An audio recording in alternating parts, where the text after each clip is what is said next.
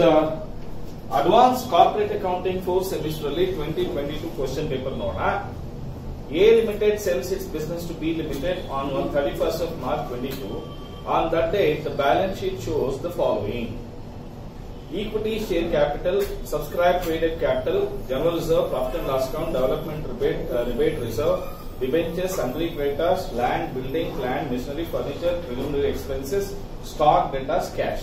Sir ಇಷ್ಟು ನೋಡಿದ್ರೆ ನಮಗೆ ಬ್ಯಾಲೆನ್ಸ್ ಶೀಟ್ ಅಲ್ಲಿ ಅರ್ಥ ಮಾಡ್ಕೊಳ್ಬೇಕಾಗಿರೋದು ಎರಡು ಪಾಯಿಂಟ್ ಇದೆ. ಒಂದು ಲಯಬಿಲಿಟಿ ಸೈಡ್ ಅಲ್ಲಿ ಡೆವಲಪ್ಮೆಂಟ್ ರಿಸರ್ವ್ ಇದೆ. ಏನಿದೆ? ಡೆವಲಪ್ಮೆಂಟ್ ರಿಸರ್ವ್ ಇದೆ. ಹಾಗೆ ಅಸೆಟ್ ಸೈಡ್ ಅಲ್ಲಿ ಪ್ರಿಲಿಮಿನರಿ ಎಕ್ಸ್ಪೆನ್ಸಸ್ ಇದೆ. ನೋಡಿ ಡೆವಲಪ್ಮೆಂಟ್ ರಿಸರ್ವ್ ಅಂತ ಹೇಳಿದ್ರೆ ಒಂದು ಕಂಪನಿ ಪ್ರಾಫಿಟ್ ಅಲ್ಲಿ ಆ ಕಂಪನಿ ಡೆವಲಪ್ಮೆಂಟ್ಗೆ ಅಂತ ಒಂದಷ್ಟು ರಿಸರ್ವ್ ಅನ್ನ ಎತ್ತಿಟ್ಟಿರುತ್ತೆ. ಪ್ರಾಫಿಟ್ ಅಲ್ಲಿ ಎತ್ತಿಟ್ಟಿರುತ್ತೆ. ಅದು ಏನಕ್ಕೆ ಎತ್ತಿಟ್ಟಿರುತ್ತೆ ಅಂತ ಹೇಳಿದ್ರೆ ಬರೀ ಡೆವಲಪ್ಮೆಂಟ್ ಮಾತ್ರ ಎತ್ತಿಟ್ಟಿರುತ್ತೆ ಯಾವುದೇ ಕಾರಣಕ್ಕೂ ಅದನ್ನ ಶೇರ್ ಹೋಲ್ಡರ್ಸ್ಗೆ ಕೊಡೋ ಹಾಗಿಲ್ಲ. ಅರ್ಥ ಆಗ್ತಿದ್ಯಾ? ಅದನ್ನ ನಾವು ಲಯಬಿಲಿಟಿ ಅಂತಾನೆ ಕನ್ಸಿಡರ್ ಮಾಡ್ತೀವಿ. ಇದು ಮೊದಲನೇ ಪಾಯಿಂಟ್ ಅಸೆಟ್ ಸೈಡ್ ಅಲ್ಲಿ ಪ್ರಿಲಿಮಿನರಿ ಎಕ್ಸ್ಪೆನ್ಸಸ್ ಅಂತ ಇದೆ. ಅದು ಆಕ್ಚುಲ್ ಆಗಿ ಲಾಸ್ ಅದು. ಏನದು. ಲಾಸ್ ಅದು. ಅದನ್ನ ಫಿಕ್ಟಿಷಿಯಸ್ ಅಸೆಟ್ ಅಂತ ಹೇಳ್ತಾರೆ. ಯಾವುದೇ ಲಾಸ್ ಆಗಲಿ ಪ್ರಾಫಿಟ್ ಆಗಲಿ, ಅದು ಈಕ್ವಿಟಿ ಶೇರ್ ಹೋಲ್ಡರ್ಸ್ಗೆ ಹೋಗೋದ್ರಿಂದ ಅದನ್ನ ನಾವು ಈಕ್ವಿಟಿ ಶೇರ್ ಹೋಲ್ಡರ್ಸ್ ಅಕೌಂಟ್ ಅಲ್ಲಿ ತಗೊಳ್ಬೇಕಾಗುತ್ತೆ. ಯಾವುದೇ ಕಾರಣಕ್ಕೂ ಅಸೆಟ್ ಸೈಡ್ ಅಲ್ಲಿ ತಗೊಳ್ಳೋ ಇಲ್ಲ. ಇನ್ನ ಅಡ್ಜಸ್ಟ್ಮೆಂಟ್ ಬಂದ್ರೆ ಈ ಎ ಲಿಮಿಟೆಡ್ನ ಬಿ ಲಿಮಿಟೆಡ್ ಪರ್ಚೇಸ್ ಮಾಡ್ತಾ ಇದೆ. ಎಲ್ಲ ಅಸೆಟ್ಸ್ ತಗೊಂಡೋಗ್ತಾ ಇದಾರಂತೆ ಕ್ಯಾಶ್ ಬಿಟ್ಟು ಅದು ಬೇರೆ ಎಲ್ಲ ಅಸೆಟ್ಸ್ ಕ್ಯಾಶ್ ಬಿಟ್ಟು ಹತ್ತು ಪರ್ಸೆಂಟ್ ಕಡಿಮೆ ಬೆಲೆಗೆ ತಗೊಂಡೋಗ್ತಾ ಇದಾರಂತೆ ಹಾಗೆ to pay goodwill one lakh rupees goodwill ಕೊಡ್ತಾ ಇದ್ರಂತೆ ಡಿಬೆಂಚರ್ಸ್ ಮಾತ್ರ ತಗೊಂಡೋಗ್ತಾ ಇದ್ದಾರಂತೆ. ಡೆವಲಪ್ಮೆಂಟ್ ರಿಸರ್ವ್ ತಗೊಂಡ್ ಡಿಬೆಂಚರ್ಸ್ ತಗೊಂಡೋಗ್ತಾ ಇದ್ದಾರೆ. ಹಾಗೆ ಡೆವಲಪ್ಮೆಂಟ್ ರಿಸರ್ವ್ ತಗೊಂಡೋಗ್ತಾ ಇದ್ರೆ ಕ್ರೆಡಿಟರ್ಸ್ನ ತಗೊಂಡು ಹೋಗ್ತಾ ಇಲ್ಲ. ಓಕೆನಾ ಹಾಗೆ purchase consideration discharge by allotment of sixty thousand shares of ten each the balance in cash ಅಂತ ಹೇಳಿದ್ದಾರೆ.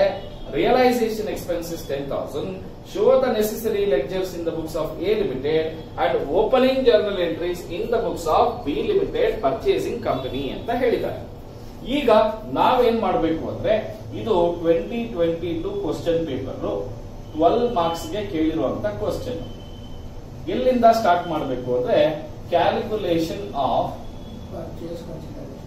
P C ಇದು ನೆಟ್ ಅಸೆಟ್ ಮೆಥಡ್ ಅಲ್ಲೇ ಇದೆ ಕಾರಣ ಏನಂದ್ರೆ ಬ್ಯಾಲೆನ್ಸ್ ಇನ್ ಕ್ಯಾಶ್ ಅಂತ ಹೇಳಿದ್ದಾರೆ. ಕರೆಕ್ಟಾ ಹಾಗಾದ್ರೆ ಏನ್ ಮಾಡಬೇಕು ಅನ್ನೋದನ್ನ ಇಲ್ಲಿ ಕ್ಲಿಯರ್ ಕಟ್ ಆಗಿ ನೋಡೋಣ. ಆಯ್ತಾ? ಇಲ್ಲಿ ಎಲ್ಲಾ ಅಸೆಟ್ಸ್ ತಗೊಂಡು ಹೋಗ್ತಾ ಇದ್ದಾರಂತೆ.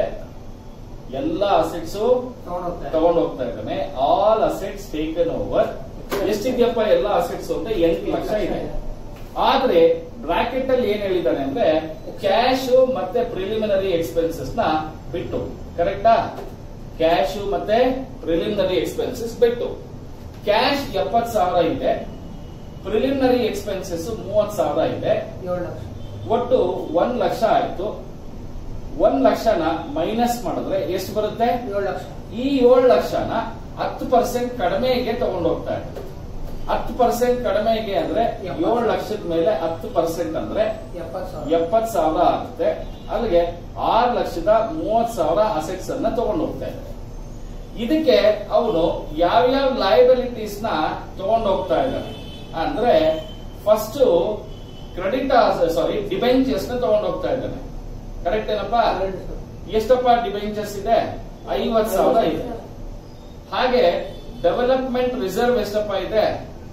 ಮೂವತ್ ಸಾವಿರ ಇದೆ. ಕರೆಕ್ಟಾ. ಡೆವಲಪ್ಮೆಂಟ್ ರಿಸರ್ವ್ ಅಲ್ಲಿಗೆ ಎಂಬತ್ ಸಾವಿರ ಹೋಯ್ತು. ಕರೆಕ್ಟನೇ ಕರೆಕ್ಟ್ ಐದು ಐವತ್ತು. ಐದು ಲಕ್ಷದ ಐವತ್ ಸಾವಿರ ರೂಪಾಯಿ ಬರುತ್ತೆ. ಇದಕ್ಕೆ ಗುಡ್ ವಿಲ್ ಬೇರೆ ಕೊಡ್ತಾ ಇದ್ದಾನಂತೆ. ಎಷ್ಟು ರೂಪಾಯಿಗೂ ಒಂದು ಲಕ್ಷ ರೂಪಾಯಿ ಗುಡ್ ವಿಲ್ ಕೊಡ್ತಾ ಇದ್ದಾನಂತೆ. ಅಲ್ಲಿಗೆ ಒಟ್ಟು ಪಿ ಸಿ ಎಷ್ಟಾಯ್ತಪ್ಪ ಅಂದ್ರೆ ಆರೂವರೆ ಲಕ್ಷ ರೂಪಾಯಿ ಆಯ್ತು. ಇದನ್ನ ಟೋಟಲ್ ಪರ್ಚೇಸ್ ಕನ್ಸಿಡರೇಷನ್ ಓಕೆನಪ್ಪ ಈಗ ಇದನ್ನ ಹೆಂಗ್ ಕೊಡೋದು? ಅವನೇ ಪ್ರಾಬ್ಲಮ್ನಲ್ಲಿ ಹೇಳಿದ್ದಾನೆ. ಲಾಸ್ಟ್ ಬಟ್ ಒನ್ ಪ್ಯಾರಾಗ್ರಾಫ್ ಅಲ್ಲಿ. ಏನಂತ? ಟೋಟಲ್ ಪಿ ಸಿ ಎಷ್ಟಿರುತ್ತೆ? ಅದರಲ್ಲಿ equity shares equity share capital ಅರವತ್ ಸಾವಿರ ಶೇರ್ಸ್ ಹತ್ತು ರೂಪಾಯಿ ಪ್ರಕಾರ ಆರು ಲಕ್ಷ ಕೊಡ್ತಾ ಇದ್ದಾನೆ. ಉಳಿದಿದ್ದನ್ನ ಕ್ಯಾಶ್ ಅಲ್ಲಿ ಕೊಡ್ತಾ ಇದ್ದಾನೆ. ಕರೆಕ್ಟ್ ಏನಪ್ಪ? ಬ್ಯಾಲೆನ್ಸಿಂಗ್ ಕ್ಯಾಶ್ ಇದನ್ನ ನಾವು ಕ್ಯಾಲ್ಕುಲೇಟ್ ಮಾಡ್ಬಿಟ್ವಿ. ಸರ್ ಇಷ್ಟು ಮಾಡಿದ್ರೆ ನಿಮಗೆ ಉಳಿದಿದ್ದು ಸಿಕ್ಕಾಪಟ್ಟೆ ಈಸಿಯಾಗಿ ಮಾಡಬಹುದು. ಅರ್ಥ ಆಯ್ತಾ? ಈಗ ನಾವು ledger accounts in the books of A limited ಮಾಡೋಣ. ಏನೇನ್ ಲೆಡ್ಜರ್ಸ್ ಮಾಡಬೇಕು ಅಂದ್ರೆ ಫಸ್ಟ್ ರಿಯಲೈಸೇಷನ್ ಅಕೌಂಟ್ ಮಾಡಬೇಕು. ನೋಡಿ ರಿಯಲೈಸೇಷನ್ ಅಕೌಂಟ್ ಮಾಡಬೇಕಾದ್ರೆ ಅವನು ಕ್ಯಾಶ್ ತಗೊಂಡೋಗ್ತಾ ಇಲ್ಲ. ಪ್ರಿಲಿಮಿನರಿ ಎಕ್ಸ್ಪೆನ್ಸಸ್ ಬಂದು ಅಸೆಟ್ಟೇ ಅಲ್ಲ ಅದು. ಅದು ಫಿಕ್ಟಿಷಿಯಸ್ ಅಸೆಟ್ ಅದರ ಬುಕ್ ವ್ಯಾಲ್ಯೂ ಎಷ್ಟಪ್ಪ ಅಂದ್ರೆ ಏಳು ಲಕ್ಷ ಇದೆ. ಯಾವಾಗ್ಲೂ ಅಷ್ಟೇ. ರಿಯಲೈಸೇಷನ್ ಅಕೌಂಟ್ ಮಾಡಬೇಕಾದ್ರೆ ಇನ್ನೂ ಇಲ್ಲ ಅಂದ್ರೆ ಒಂದ್ ಕೆಲಸ ಮಾಡೋಣ. ರಿಯಲೈಸೇಷನ್ ಅಕೌಂಟ್ ಅಲ್ಲಿ ಡೆಬಿಟ್ ಸೈಡ್ ಅಲ್ಲಿ ಬ್ಯಾಲೆನ್ಸ್ ಶೀಟ್ ಅಲ್ಲಿ ಯಾವ್ಯಾವ ಅಸೆಟ್ಸ್ ಎಷ್ಟೆಷ್ಟು ಇದೆ ಅದನ್ನ ಬರೆದು ಬಿಡೋಣ. ಲ್ಯಾಂಡ್ ಅಂಡ್ ಬಿಲ್ಡಿಂಗ್ ಮೂರ್ ಲಕ್ಷ ಇದೆ. ಪ್ಲಾಂಟ್ ಅಂಡ್ ಮಿಷಿನರಿ ಒಂದೂವರೆ ಲಕ್ಷ. ಒಂದೂವರೆ ಲಕ್ಷ ಇದೆ. ಫರ್ನಿಚರ್ಸ್ ಐವತ್ ಸಾವಿರ. ಫರ್ನಿಚರ್ಸ್ ಅಂಡ್ ಫಿಕ್ಸ್ಚರ್ಸ್ ಐವತ್ ಸಾವಿರ ಇದೆ. ಸ್ಟಾಕ್ ಒಂದ್ ಲಕ್ಷ. ಸ್ಟಾಕ್ ಒಂದ್ ಲಕ್ಷ ಇದೆ. ಡೆಟಾಸ್ ಒನ್ ಲ್ಯಾಕ್ ಡೆಟಾಸ್ ಒಂದ್ ಲಕ್ಷ ಇದೆ. ಕ್ಯಾಶ್ ತಗೊಂಡ್ ಹೋಗ್ತಾ ಇಲ್ಲ. ಡೆಟಾಸ್ ಐವತ್ ಸಾವಿರನ? ಇಲ್ಲ ಸರ್ ಡೆಟಾಸ್ ಒಂದ್ ಲಕ್ಷ. ಡೆಟಾಸ್ ಒಂದ್ ಲಕ್ಷ. ಕ್ಲಿಯರ್ ಏನಪ್ಪ? ನೋಡಿ ಈಗ ಮೂರು ನಾಲ್ಕು ಐದು ಆರು ಏಳು. ಏಳು. ಲಕ್ಷ ಕರೆಕ್ಟ್ ಆಗುತ್ತೆ. ಈಗ ಕ್ರೆಡಿಟ್ ಸೈಡ್ ಅಲ್ಲಿ ಡಿಬೆಂಚರ್ಸ್ನ ತಗೊಂಡು ಹೋಗ್ತಾ ಇದ್ದಾರೆ ಐವತ್ ಸಾವಿರ. ಕ್ರೆಡಿಟರ್ಸ್ನ ತಗೊಂಡು ಹೋಗ್ತಾ ಇಲ್ಲ. ಆದ್ರೆ ನಾವು ಕೊಡಬೇಕು ಅದನ್ನ ತೋರಿಸ್ಬೇಕು ಇಪ್ಪತ್ ಸಾವಿರ. ಡೆವಲಪ್ಮೆಂಟ್ ರಿಸರ್ವ್ ಕೂಡ ತಗೊಂಡು ಹೋಗ್ತಾ ಇದ್ದಾರೆ. ಅದೊಂದು ಮೂವತ್ ಸಾವಿರ. ಕರೆಕ್ಟ್ ಏನಪ್ಪಾ? ಇಷ್ಟಕ್ಕೆ ಅವರು ಪಿ ಸಿ ಎಸ್ ಕೊಡ್ತಾ ಇದ್ದಾರೆ ಅಂದ್ರೆ business purchase account P C due ಆರೂವರೆ ಲಕ್ಷ ರೂಪಾಯಿ ಇದೆ. ಕರೆಕ್ಟ್ ಏನಪ್ಪಾ? ಈಗ ಈ ಕ್ರೆಡಿಟರ್ಸ್ನ ತಗೊಂಡು ಹೋಗ್ತಾ ಇಲ್ಲ. ಅವ್ರಿಗೆ ನಾವು ಕೊಟ್ಬಿಡ್ಬೇಕು. ಕರೆಕ್ಟ್ ಏನಪ್ಪಾ? ಕ್ಯಾಶ್ ಅಕೌಂಟ್ ಏನಂತ ಹೇಳ್ತೀವಿ? Creditors paid twenty thousand rupees ಹಾಗೆ ಹತ್ತು ಸಾವಿರ ರೂಪಾಯಿ realisation expenses ಆಗಿದೆಯಂತೆ. Expenses also paid ten thousand rupees correct ಏನಪ್ಪ? ಅಲ್ಲಿಗೆ ರಿಯಲೈಸೇಷನ್ ಅಕೌಂಟ್ ಮುಗೀತು. ಇನ್ನೊಂದ್ಸರಿ ಹೇಳ ನಿಮ್ಗೆ? ರಿಯಲೈಸೇಷನ್ ಅಕೌಂಟ್ ಅಲ್ಲಿ ತಗೊಳ್ಬೇಕಾದ್ರೆ ಬ್ಯಾಲೆನ್ಸ್ ಶೀಟ್ ಅಲ್ಲಿ ಯಾವ್ಯಾವ ಅಸೆಟ್ಸ್ ಎಷ್ಟೆಷ್ಟಿದೆ ಅದನ್ನು ತಗೊಳ್ಳಿ. ಲಯಬಿಲಿಟೀಸ್ ಡಿಬೆಂಚರ್ಸ್ ಕ್ರೆಡಿಟಾರ್ಸ್ ರಿಸರ್ವ್ ಎಲ್ಲ ತಗೊಳ್ಳಿ ಡೆವಲಪ್ಮೆಂಟ್ ರಿಸರ್ವ್ ಇದರಲ್ಲಿ ಯಾವ್ದು ತಗೊಂಡೋಗ್ತಾ ಇಲ್ಲ? ಕ್ರೆಡಿಟಾರ್ಸ್ ಆಸ್ ಹೋಗ್ತಾ ಇಲ್ಲ. ತಗೊಂಡೋಗ್ತಾ ಇಲ್ಲ ಅಂದ್ರೆ ಯಾರು ಕೊಡ್ಬೇಕದು? ಸೆಲ್ಲಿಂಗ್ ಕಂಪ್ನಿನೇ ಕೊಡ್ಬೇಕು. ಸೆಲ್ಲಿಂಗ್ ಕಂಪ್ನಿ ಕೊಟ್ಬಿಡ್ತಾ ಇದೆ, ಇಪ್ಪತ್ತು ಸಾವಿರ. ಸರ್ ಕ್ಯಾಶ್ ತಗೊಂಡೋಗ್ತಾ ಇಲ್ಲ, ಎಪ್ಪತ್ತು ಸಾವಿರ ದುಡ್ಡಿದೆ. ನೋಡಿ ಕ್ಯಾಶ್ ತಗೊಂಡೋಗ್ತಾ ಇಲ್ಲ, ಎಪ್ಪತ್ತು ಸಾವಿರ ದುಡ್ಡಿದೆ. ಪರ್ಚೇಸಿಂಗ್ ಕಂಪ್ನಿ ಒಂದ್ ಐವತ್ತು ಸಾವಿರ ಕ್ಯಾಶ್ ಕೊಡ್ತಾ ಇದೆ.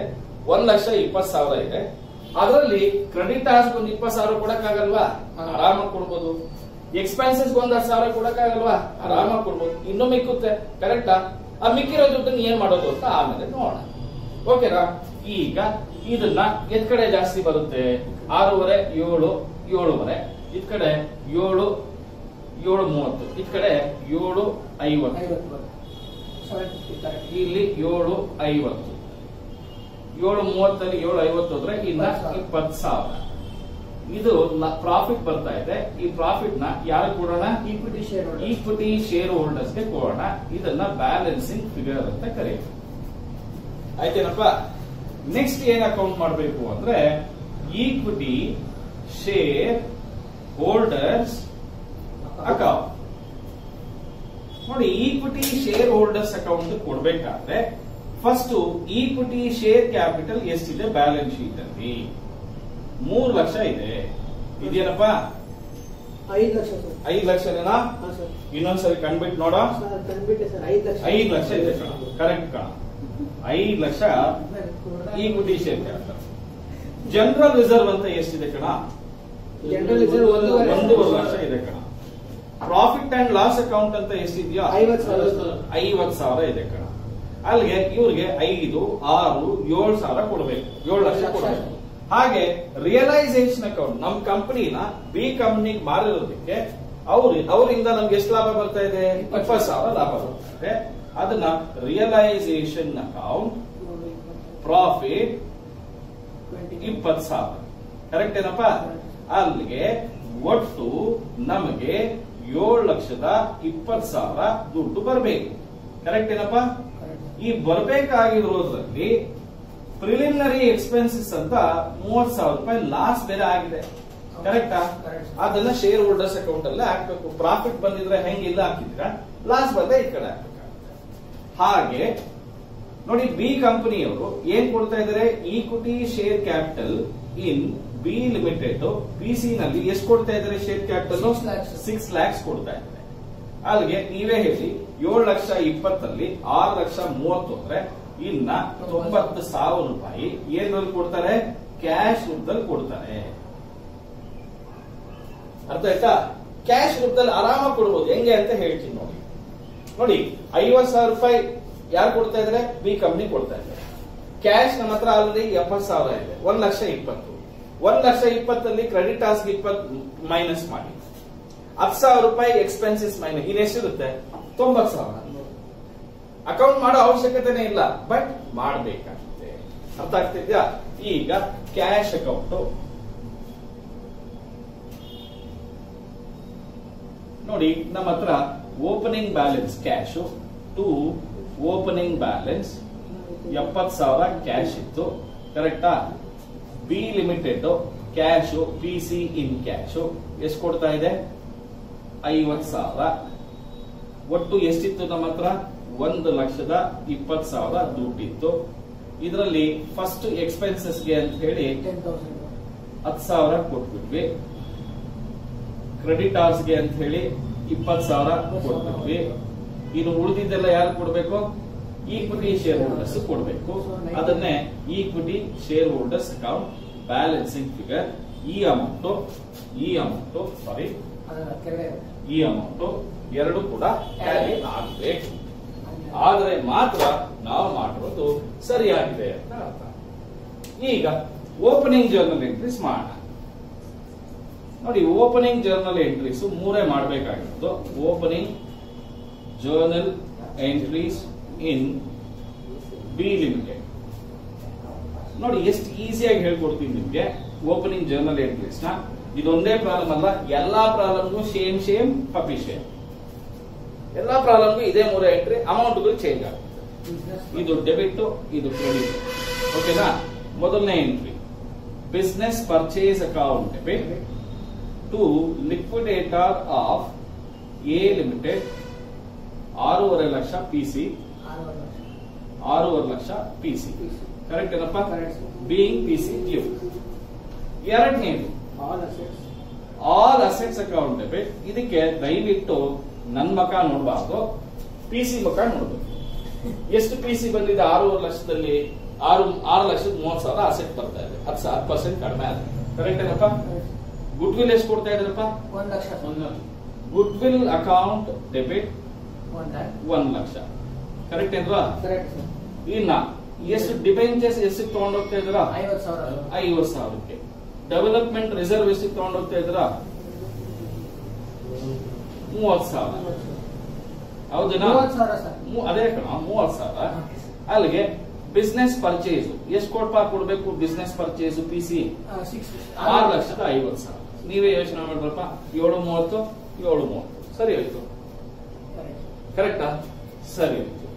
ಇನ್ನು last journal entry narration being business purchased purchase being business Purchased. Purchased ಈಗ ಲಿಕ್ವಿಡೇಟರ್ ಆರು ಲಕ್ಷ ಐವತ್ತು ಸಾವಿರ ಕೊಡ್ಬೇಕು ಪಿ ಸಿ ನಲ್ಲಿ ಯಾರು ಬಿ ಕಂಪ್ನಿ ಏನೇನ್ ಕೊಡ್ತಾ ಇದೆ?